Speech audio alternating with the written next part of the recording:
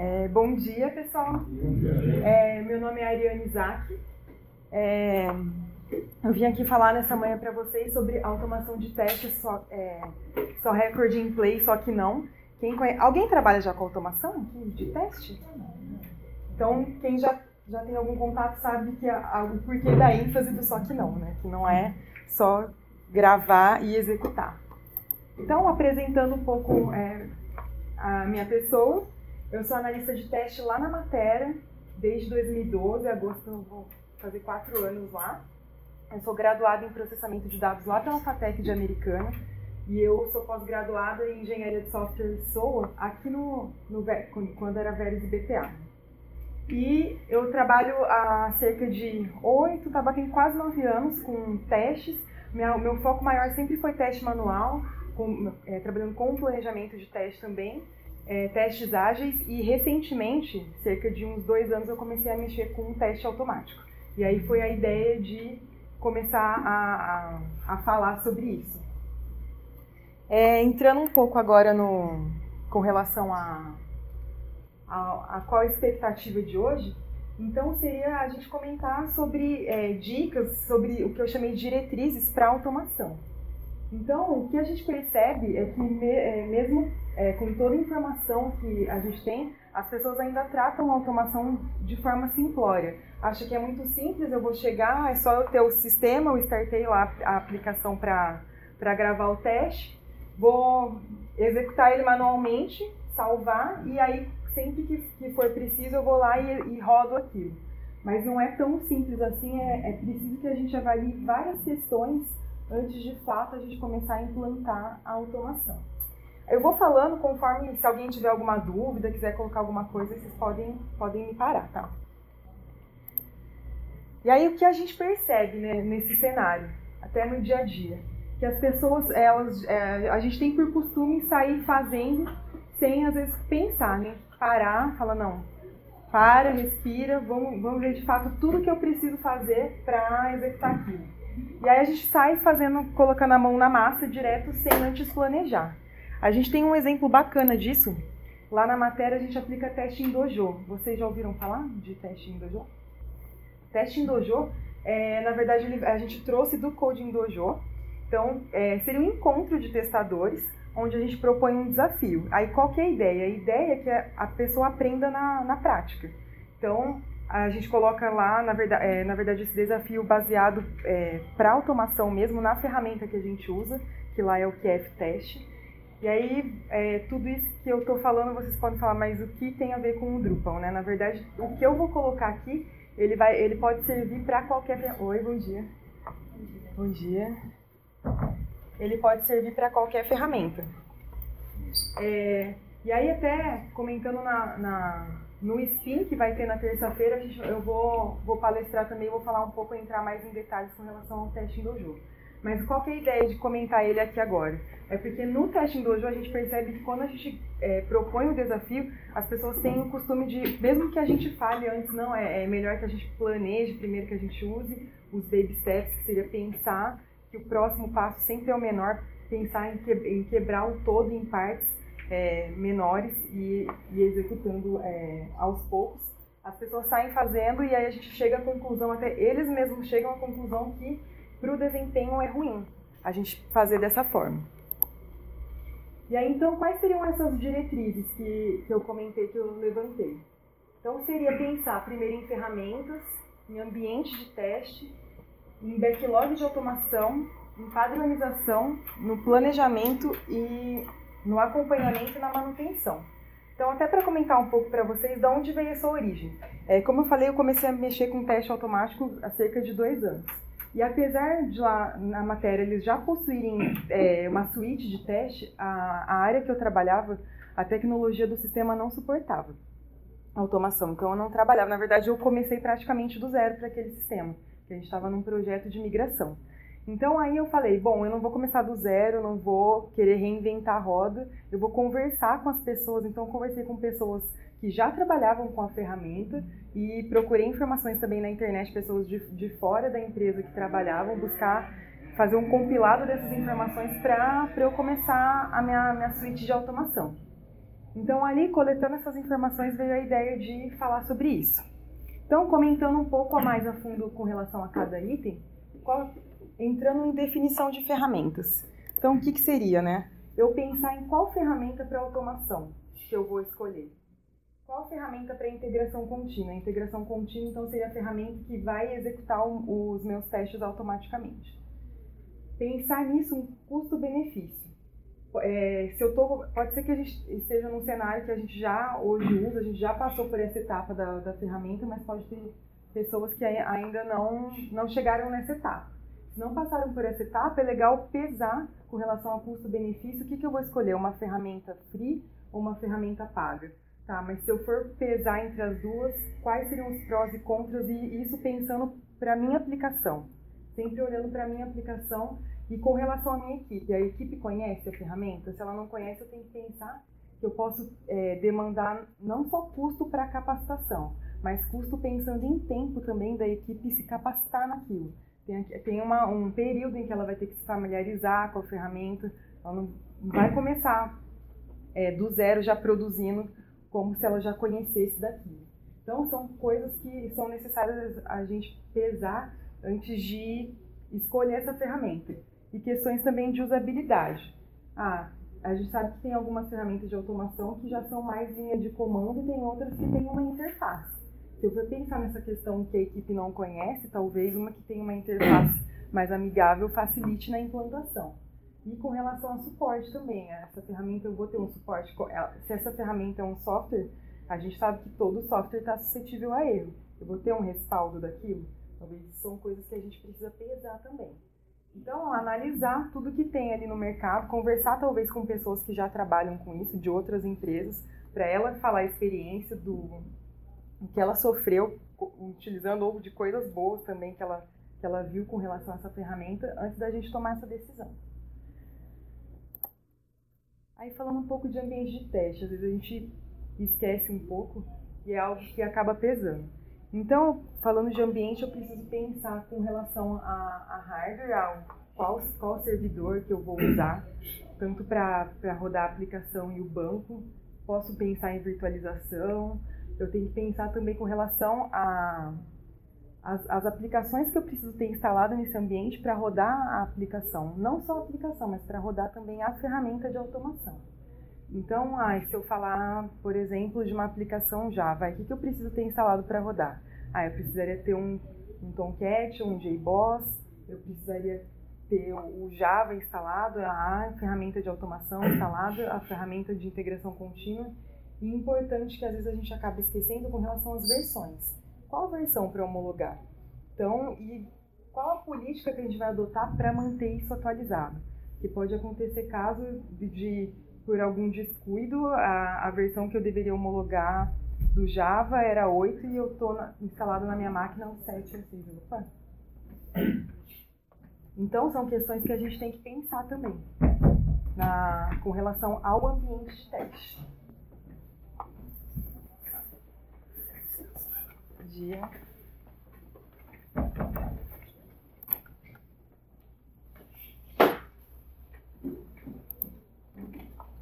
Um outro detalhe também é com relação a, a, a pensar no backlog. Então, eu tenho minha funcionalidade, é, das, das N funcionalidades que eu tenho, o que importa ali, o que é importante eu ter automatizado. Então, essa conversa pode ser que eu precise é, é, selecionar mais pessoas do negócio, algum PO, até o pessoal do atendimento, ou quem cuida, o pessoal de produtos, para me ajudar a elencar ali com relação ao que seria interessante eu, eu, eu ter para automatizar. E não só o que eu ter para automatizar, na verdade, pensar em priorizar isso. Então, eu posso ter eu pensar em critérios de, de priorização. Eu posso pensar pelo lado da criticidade do negócio. Não, quero começar a automatizar do que é ali importante para mim que não pode deixar de funcionar ou não, vou pensar pelo nível de dificuldade. Se eu for linkar com relação a eu, tô no início, as pessoas não conhecem ainda a ferramenta, talvez para facilitar eu ter já alguma coisa rodando, se eu começar dos mais fáceis para os mais difíceis, aí vai, vou ter aquele período que a equipe vai estar tá mais familiarizada, quando ela chegar num ponto mais difícil, para a equipe vai ser mais fácil levar aquilo, posso levar em consideração esse critério. Ou com relação à frequência de uso, ah não, eu sei que eu tenho, eu elenquei lá aquelas funcionalidades que eu quero que seja automatizada, e delas eu vou escolher as que mais são usadas, que são as que têm mais chance de, de bater ali no atendimento. Eu quero garantir aquele ponto primeiro. Então, a gente definir qual é, qual é esse critério. Aí, uma outra coisa que é interessante a gente pensar é com relação à padronização. Porque o que acontece? A gente sabe que a equipe são várias pessoas trabalhando e cada um pensa de um jeito. E se, a, se a gente colocasse um, um, desafio aqui para, ah, sei lá, automatiza a tela de produtos de venda eu faria de um jeito, ele faria de outro, ela faria de outro. E não quer dizer que o meu jeito é o certo, dele errado, ou dela é certo e o meu errado. São várias formas de, de fazer para alcançar aquele objetivo. Só que se a gente for pensar isso depois, é, pode ser que a gente precise ter uma manutenção, cada um fazendo de um jeito, para eu pegar para dar manutenção em algo que ele fez do, do, jeito dele, ele olhando ali, pode ser que ele entenda se passar uns dois, três meses, com tanta coisa que a gente vai ter na cabeça, mesmo ele que fez, pode ser que não lembre em detalhes. Então, se a gente pensar é, em padronizar a estrutura, todo mundo é, tentar é, desenvolver, criar só, o teste da mesma maneira, facilita.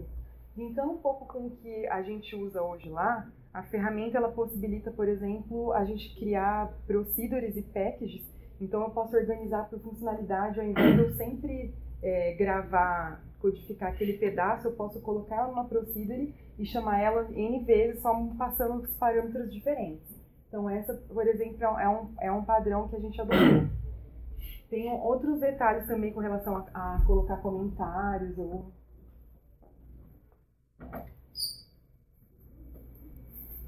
comentários ou outras questões organizacionais que a gente achou interessante é, adotar. Puxando um pouco para isso, é, quando eu falo a gente achou, o que, que a gente formou lá? A gente tem, criou um grupo que a gente chamou de padrão, que é FTEST, que é FTEST que é o nome da ferramenta de automação, onde esse grupo, é a, a ideia era reunir um pouco de como cada equipe trabalha, fazer um compilado disso e tirar ali quais seriam as melhores práticas para disseminar para as outras pessoas começarem a usar também. Então, Aí isso a gente é, chega que a, a gente ter, teria uma linguagem comum entre todo mundo, todo mundo tá, pensaria em, em, criar o teste é, da mesma forma, com o mesmo padrão. E uma outra coisa que seria interessante pensar nessa questão é em, em frameworks para automação. Então ali eu vou pensar que sempre que eu tiver que gravar alguma coisa, eu vou seguir, eu, eu tenho já um template daquilo. Ah, eu posso pensar em dividir em camadas ou o que é ali que é o mínimo que eu preciso ter. Então, talvez né, nessa etapa seria interessante já pensar nisso também, com relação a ter um, um template para seguir. O pessoal que chegou depois, eu, eu, comentei no início que se vocês tiverem alguma dúvida, vocês podem ir parando, eu, a gente vai esclarecendo na hora. Então, falando um pouco sobre planejamento da automação, também é importante, Então, aqui nesse momento seria a gente pensar lá do início, eu organizar tudo que eu já coletei para decidir como que eu vou implantar essa automação, como que ela vai ser inserida no meu contexto. E aí, o que, que eu posso pensar? Em é, estabelecer metas e um cronograma para eu implantar isso. E uma outra, um outro detalhe importante que a gente tem que pensar também é que muitas vezes a gente não tem uma equipe dedicada somente para automação. Então, por exemplo, no cenário que eu vivo hoje, a gente compartilha tempos é, dentro de projetos e tempo para um tempo para tocar automação. Então, se eu se eu estiver fal falando em planejamento, eu tenho que levar isso em consideração. Não, é, quando eu for até estabelecer a questão do, dos prazos para cada etapa ser implementada. Pode ser que eu não tenha ali uma pessoa dedicada para aquilo, eu tenho o tempo dela quebrado, então isso também eu teria que levar em consideração. E aí, depois de planejado, a gente tem que pensar que a gente precisa acompanhar essa automação. Aí, na verdade, esse acompanhamento seria validar se aquilo que eu planejei está dentro do esperado e se não tiver, eu sentar e ver quais são o que está me impedindo de seguir aquilo para eu replanejar. E aí, nesse momento também, talvez até um, um passo antes do acompanhamento, é eu pensar em políticas de como vai ser quando eu começar a, na verdade, a ferramenta começar a identificar os erros, como vai ser esse, esse reporte desse erro, e uma outra coisa, como vai ser também a política de correção. Então, se eu pensar no cenário que é, a gente está trabalhando paralelo no projeto e na automação, ali, então, como que eu vou inserir que alguém corrija aquele erro? Então, dando um exemplo do, do dia a dia lá, a gente divide as equipes em uma parte da equipe trabalha com change e outra parte é, a, trabalha com o que a gente chamou de run, que seria a parte do atendimento. Então, ali, se a gente está falando de que, eu, que o change insere, insere, coisas novas, a probabilidade do, do erro que o teste automático pegou ser do change ter inserido é bem maior do que ser o pessoal que está cuidando de correções de erros pontuais. Então, ali talvez faria sentido que a própria equipe do, do projeto já corrija a, a, antes de liberar aquele, aquela release para o cliente. Mas então, isso são políticas que a gente tem que pensar em adotar, porque senão você se esbarra com isso no momento que está o erro, e aí, o que, que eu faço? Aí você tem que parar e pensar para quem vai direcionar, pode causar algum mal-estar, então seria interessante a gente já pensar antes de fato começar a rodar. E aí, falando um pouco de manutenção, acho que manutenção é uma coisa que pega um pouco quem já trabalha, sabe, né? Quer comentar alguma coisa em relação à manutenção? É, é difícil, a gente sabe que às vezes é difícil, principalmente para que a gente percebeu, principalmente por questões de pa padrão de como escrever o teste. Às vezes você pega lá, deu um erro, fica difícil você identificar o que é o erro, porque o teste está difícil ali de entender o que o está sendo feito. Então, até esse puxando um pouco com relação ao padrão, a gente sempre relaciona muito o padrão e a manutenção. Se a gente fizer algo mais estruturado, deixar o código mais limpo, fica mais fácil de entender e fica mais fácil de eu dar manutenção também. Você perde um tempo, pode ser que você é, pense que estou perdendo um tempo maior em planejando e estruturando aquilo inicialmente, mas o ganho que você vai ter lá na frente, se for pesar, vai compensar. Então, ali, falando um pouco de manutenção, é, a gente sabe que a, a aplicação ela pode sofrer alteração durante o ciclo de vida dela. Isso pode ser por um, um erro mesmo de codificação. Eu posso me defrontar também com um erro de teste. Porque só o dev erra, né? Porque eu sou o bonzão e eu faço tudo certo só porque eu, eu encontro os bugs. Não, eu posso escrever um teste errado. Dá um exemplo. Ah, eu comecei a, a criar meu teste, eu criei variável e ali no, no momento que eu que eu estava criando, eu atribuí ela na mão e esqueci de fazer a atribuição no, no, dentro do teste. E ali rodando local funcionou. Mas a hora que eu comitei e foi rodar na integração contínua, quebrou. E aí foi, é um detalhe que eu esqueci. É aquela né, que a gente, é, quem é, é, testador conhece e às vezes briga com o dev que fala, ah, na minha máquina funciona, na sua. Então, às vezes é, isso se volta para a gente, né? Quando, quando a gente está mexendo com automação. Pode ser um erro de teste. E pode ser um erro da aplicação e não, pode ser alguma coisa com relação à ferramenta. Lá, essa, essa ferramenta que a gente usa, é, ela, às vezes você mudou um, um, algum label da tela, ela, ela, ela não reconhece como o mesmo nome. Aí ela acaba, aí o teste quebra. Mas não é um erro do teste, nem é um erro de codificação. Aqui ela criou um outro nome para aquilo. Então é, é, é, importante também a gente conseguir identificar qual é o ponto até na hora de fazer o reporte do, do erro. E uma outra coisa que a gente tem que pensar aqui em manutenção, quem está trabalhando ali na, na modificação do, da aplicação, ela sabe que vai entrar uma modificação na tela X. Então eu sei que nessa tela X eu tenho um teste gravado. E se vai mudar o comportamento, provavelmente vai mudar o meu, meu teste também, então meu teste vai quebrar. Então ali é pensar em qual momento que eu vou corrigir isso. Seria, será que é o ideal eu já eu colocar uma task ali, falando no, do ágil, né? Eu dando mais sprint, eu vou colocar uma task ali já prevendo que eu preciso corrigir meu teste, eu vou fazer no final. Pensar nessa questão também, quando a gente está traba trabalhando com a, a mudança do produto, a gente pensar que se tiver o teste gravado, seria interessante eu pensar em qual momento eu vou enquadrar.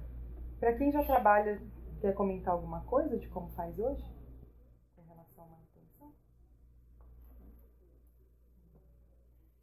E aí uma outra coisa importante também é que volta de novo para a questão do padrão. Então, se eu fiz ele bem estruturado, ele está bem legível, para mim, na hora de dar, é, identificar o, o, problema, vai ser mais fácil. E aí, o que pode me ajudar nesse, nesse rastrear o problema? A gente tem ferramentas de, de debug. Lá no caso daqui, a, minha, a ferramenta de integração contínua que eu trabalho lá é o TeamCity. Então, o TeamCity ele tem uma, um log de, de defeitos que ele, que ele cria conforme o teste é executado. Então, por exemplo, se deu um erro, ele fala ali o trecho exatamente onde parou, ele coloca o print da tela e ele consegue anexar também o, o, o log da ferramenta de automação, no meu caso do QF Test. Então, quando a, a build quebra, eu tenho esse respaldo das, das, das duas maneiras de onde olhar ali o, qual é o problema para facilitar para mim rastrear dentro daquilo que a gente falou em qual item se encaixa ali o, a minha quebra do teste. E uma outra coisa legal que ela tem também o Siri, ele você consegue configurar ali o seu e-mail e toda vez você pode configurar para que se a build ficou verde, você, você receba depois que ela executou e se ela fica vermelha também. Então, uma forma, eu sei que a build quebrou porque eu fui notificado ele via e-mail, então eu sei que eu preciso em algum momento parar para identificar qual é o problema. E aí, então, concluindo, é, os testes vão bem além do, de só ser um record in play. É, a gente sempre tem que pensar com relação ao planejamento, aquilo que eu falei, às vezes a gente pode perder, é, que não é perder na verdade a palavra certa, mas a gente vai gastar um tempo maior ali com relação a pensar na estrutura, pensar em um template para automatizar, mas lá na frente é, eu vou ganhar que assim a gente, a gente percebe que principalmente em códigos lá antigos que já estão gravados, que a gente perde tempo, bastante tempo com manutenção. E, um, e é um tempo que eu poderia estar gastando para é, automatizar outras partes também que precisam. Então, a gente parar e planejar é bem importante. E uma, uma coisa que a gente sempre fala, né, quando fala em teste automático, que às vezes a pessoa tem a falsa impressão de que se eu tiver um teste automático, eu não preciso mais de teste manual. Então, na verdade, eles se complementam, né? Eu, o teste automático, ele é ótimo para regressão, ele vai me atender muito naquilo de trabalhos repetitivos e, e, às vezes alterações que a gente sabe que teria que retestar, eu não teria o tempo de retestar tudo aquilo, o teste automático vai me garantir aquilo, mas o manual tem, a, tem aquela questão de eu conseguir fazer o, o, exploratório também e a parte de layout, que o teste automático hoje não, não, não cobre. Acho que é isso. Eu coloquei aqui algumas referências de, de da onde de que eu usei. É, essa palestra ela tem origem, eu fiz um, na verdade eu tinha feito uma, quando eu comecei a mexer com teste automático, eu fiz uma publicação lá no, no DevMedia, mas mais falando do QF Test. E depois eu fiz também, tem um post lá no, no blog da matéria, eu sou blogueiro, faço é, periodicamente postagens relacionadas a teste de software no blog que a gente tem lá. E aí eu, eu coloquei um, um post, na verdade, exatamente com esse mesmo nome. E aí foi até a ideia do, de, de ter a palestra. E é isso, agora a gente abre para perguntas, para discussão.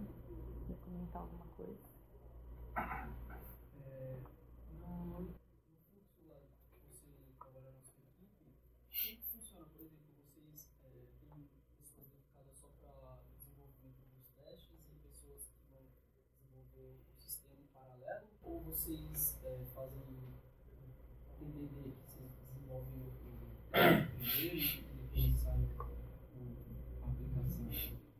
Então, na verdade, a gente tem duas frentes. A gente tem, assim, pensando do teste, da, do, garantir o teste unitário, que é a parte que é o desenvolvimento que faz, que aí a gente puxa um pouco para o TDD, que a gente usa o DB teste, e a gente tem a parte do, pensando mais em front-end, que é a equipe de teste que faz. Mas assim, hoje a gente trabalha paralelo. Então, paralelo aos projetos que a gente toca, a gente é, guarda um tempo para tocar automação também. Então, é paralelo.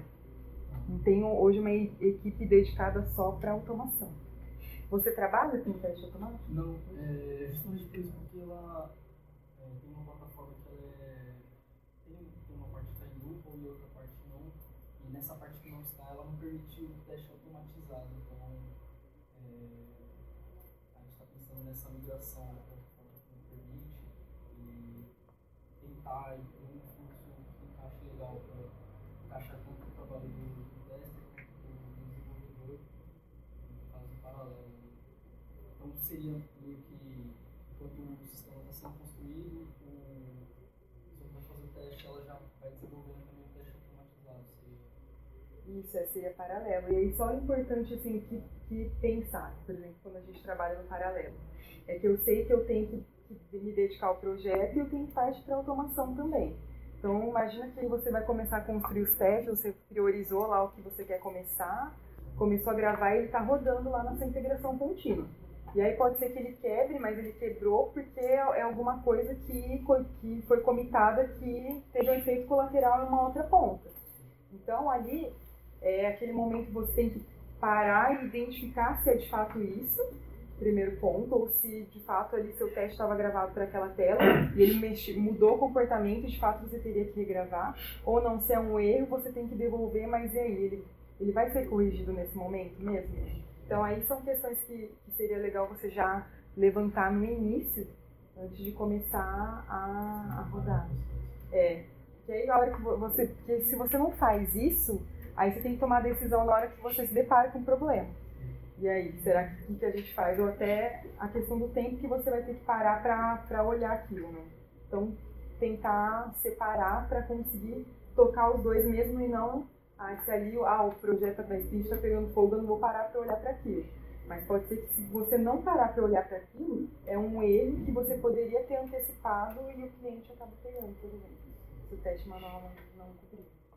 Então é importante conseguir é, tentar dosar essa, essa questão. Mais alguma coisa? O QFTS é uma ferramenta free ou paga? É uma ferramenta paga. E você automatiza ele em aplicação tipo web?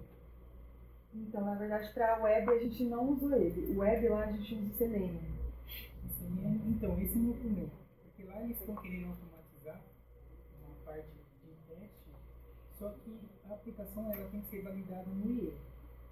O Selenium, com o Selenium você coloca um plugin lá, beleza. Mas eu não posso validar pelo by default. Aí a minha, a minha dúvida é, eu consigo implantar o Selenium no IE também? Ou constar um É, até o IE já é um problema você pode, se você trabalhar com Java puro, você pode trabalhar com WebDriver que roda, que tenta se aproximar do, do IE. Mas aí você, vai chamar, você vai chamar, você vai ter que programar o seu teste, não vai ter interface record play. Você vai só ter a camada de WebDriver que se comporta como um navegador. Você faz lá um, um código fonte que tem lá os passos do que ele tem que clicar, procurar, mas aí é um teste só de programação.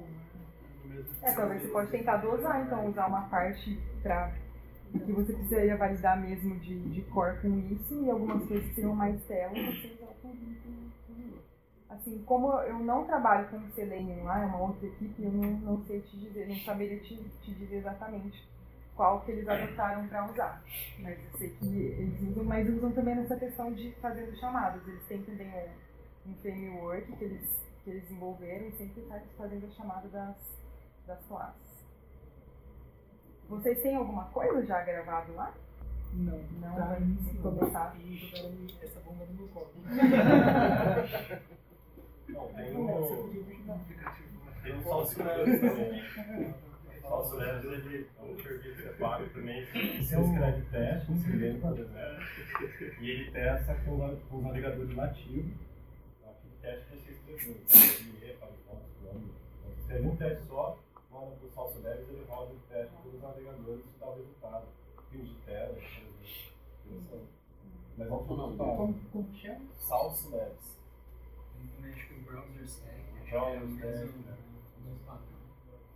Só tem uma coisa, né? Você quer testar é, Não sei se o teste, mas ele se o botão está funcionando, você quer só o IE, geralmente é layout ele tá diferente do Chrome e do Firefox, você for pensar layout, aí acho que é outra, vertente Eu vou, até abrir mais ou o cenário. A aplicação é da NET. Então você imagina lá na hora que você tem uma página da NET. Eles. Ah, Maria. Foi animador ele. Sinceridade é tudo, né? Motivou total ele. Não, é. eu- A, gente que.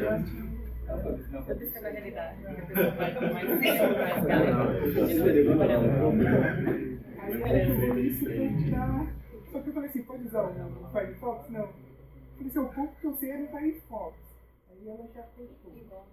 Eu tô vendo que tipo, é, tem que ser meio. Você utilizando Java para você automatizar esse coisa. Aí meio que já avança né? Você já tem que a. Então, só um pouco. Zret, cara. Conhece o Zret? É um é uma habilidade técnica. Então, tipo, é bom. É, tem que ser projeto de teste em virtude na linguagem da explicar. Você escreve texto, assim, ó, clica aqui, escreve. Escreve o passo a passo teste.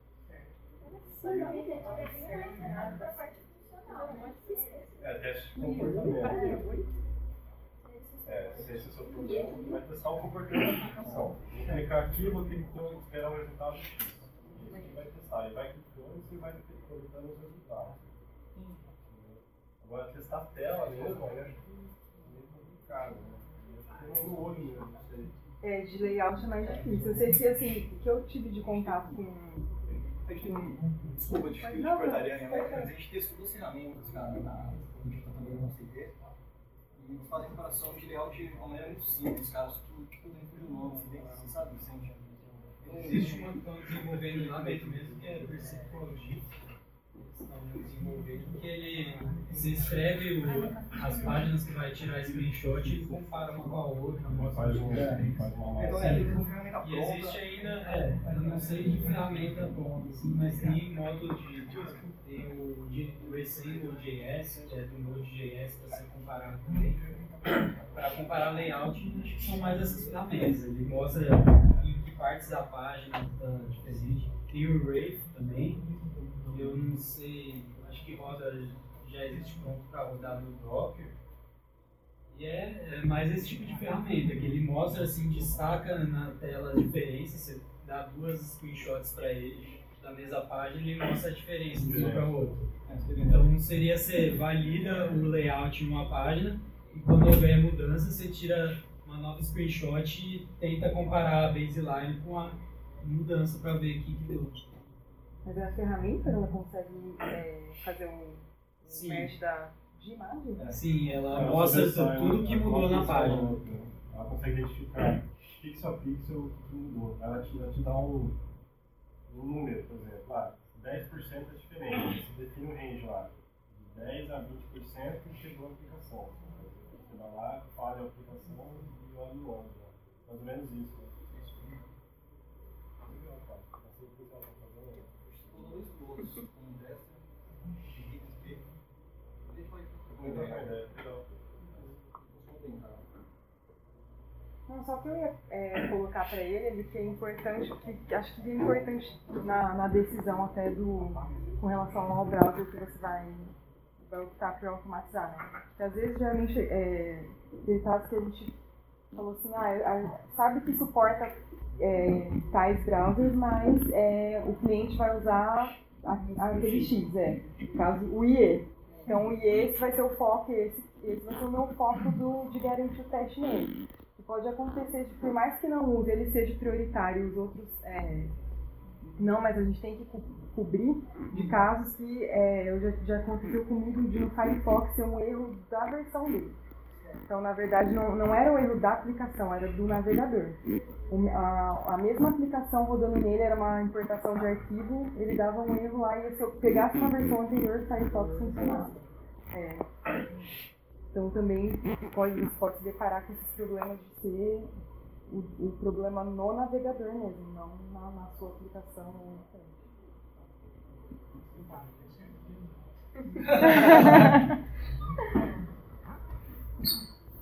Mais alguma Pensando mais na parte de web, mas acho que se aplica também a teste de aplicativo. É, como você deixa os testes legíveis? Por exemplo, trabalhando com teste de web, você vai buscar um monte de seletor CSS, SPF para identificar os elementos que você quer trabalhar. É, como você evita botar um monte de seletor gigante lá, umas coisas que não vai ficar legível no código?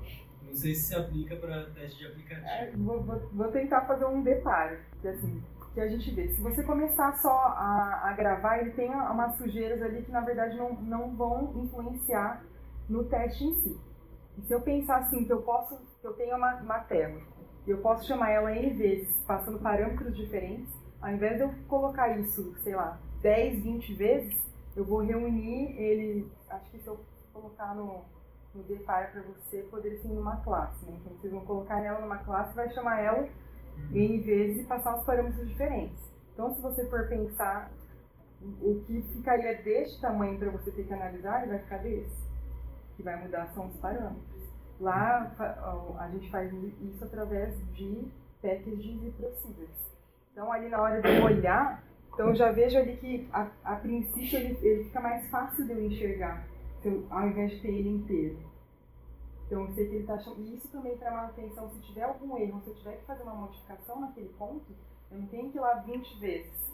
Falar, ah, eu tenho que tirar essa parte, tirar essa parte. Não, eu vou lá uma vez, salvo e as outras já são afetadas. Nesse sentido. E você escreve o teste por funcionalidade ou por tela? Qual seria o ideal? Assim? Testar a funcionalidade X ou cada tela tem seu próprio teste?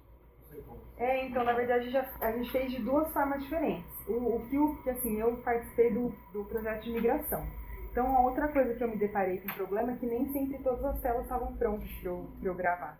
Então, eu tinha que começar a fazer a caça, ou então eu tinha que chamar alguma API ali para fazer o cadastro, para eu conseguir alimentar o teste de outra tela. Então, ali, naquele início, eu pensei de tela a tela, mas a gente trabalha também fazendo por funcionalidade.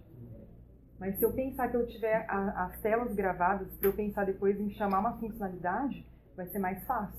Se eu já tiver todas as telas ali, então na hora de gravar a funcionalidade eu posso usar esse conceito de procedure e cada ponto que eu precisar para gravar o funcional ali já vai me atender. Tem que esperar a tela ficar pronta para você escrever o teste. Isso. Mas aí já dá para ir desenhando a, a casca dele. Uhum. Eu já sei ali no, no funcional quais as telas que eu preciso chamar já facilitaria. Mas aí tem uma maneira diferente de pensar, talvez, se você estiver fazendo teste unitário, se você estiver fazendo teste de regressão, né? Porque quando você está fazendo teste de regressão, está tudo pronto. Então, vai, talvez, talvez eu tiver muito do que vai agregar valor para o teste, para o projeto. Então, se eu estou fazendo teste de regressão e talvez uma funcionalidade seja, não seja tão importante validar do que uma outra, às vezes você deixa aquela um pouco de lado e foca no que é importante, o que quebra mais, enfim. Isso, aí a gente entra lá na, na priorização, né? Então, se tem uma ali que para mim é, quase não é usado, às vezes é um, algo customizado de algum cliente é bem específico, então ela nem entraria. Até por isso que a gente fala que às vezes eu posso falar assim, ah, eu tenho 100% do meu, do, meu, do meu software atualizado, é, automatizado. Só que aqueles 100% são das funcionalidades que eu coloquei ali, que eu quero que tenha gravado. Porque tem algumas realmente não tem sentido, porque não é muito usado. Às vezes, por exemplo, ah, é uma tela inicial que o cara vai usar só a primeira vez para fazer aquela configuração e é, vai ser muito difícil que ele acesse aquela tela de novo. Então não tem sentido eu desperdiçar tempo nessa tela. Talvez se, se ela é importante para a configuração ali no meu teste, eu posso, num, num teste que eu vou gravar, eu posso talvez chamar aquilo, já acertar os parâmetros que eu preciso, mas eu não preciso validar aquela tela. Porque nem sempre automatizar tudo é o melhor caminho. Sim. Mesmo porque tem uma outra coisa que a gente a, acaba esquecendo quando a gente fala de, de automação, é com relação à performance do, do teste, né? Que às vezes a gente vai só gravando, gravando, e aí vira um, mon- monstrinho, né? Aí é uma build que a gente queria que, que executasse rápido, demora lá, sei lá, duas, três horas. Então esse também é um ponto importante de pensar. Eu, de fato, gravar o que é importante, pensando que ali vai ter o tempo de rodar a build. E foi aquilo que você comentou no começo, sentar com a galera do projeto e ver o que, que é importante para testar, né? Porque nem sempre o que você acha que é importante para os devs ou até para o PO. Né? Acho que é legal sentar todo mundo e decidir o que, que vai. O que entrar aí é. Outra coisa interessante que eu acho que eu nunca vi rodar em um projeto, não sei se você já passou por isso, é, é programação orientada a teste. Não sei se você já conhece o termo. É, Durante a Plane, escrever os test cases, os desenvolvedores do teste escrever o teste, todos os test cases da aplicação, e aí os dois, o desenvolvedor começar a desenvolver em cima do test case e o teste começar a desenvolver os testes em cima do primeiro test case. Interessante, né? Eu nunca vi rodar assim na prática. Não sei se na prática é bem aplicado. Eu acho que a plane ia demorar muito, né? Demorar uma semana. É verdade. Mas é interessante também. Mas só tirando um gancho disso que ele falou, o que, é, que, é, que a gente viu que funciona, é assim, às vezes eu, lá eu pensei nos cenários e eu valido com, com o dev o que eu, tô, o que eu vou, vou, vou testar. Que o que acontece às vezes nisso. E até quando ele te entrega, ele fala, olha, hum, não pensei nisso aqui não, eu não tratei. Certeza que vai dar caixa. até É. a ideia de como ele o que ele pensou na plane, às vezes muda quando ele vai desenvolver. É legal sentar os dois e aí trocar uma ideia do que, que ele fez e aí falar mesmo, ó, eu vou testar isso, eu vou fazer aquilo. Alinha a ideia.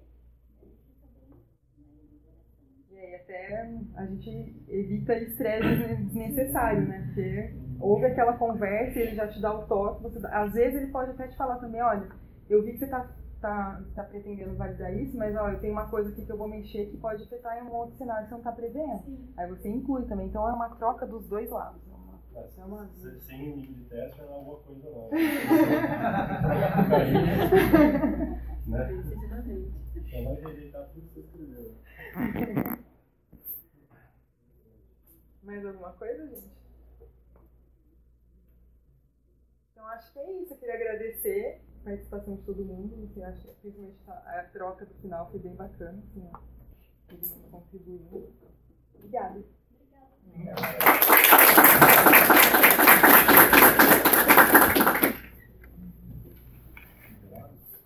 Então.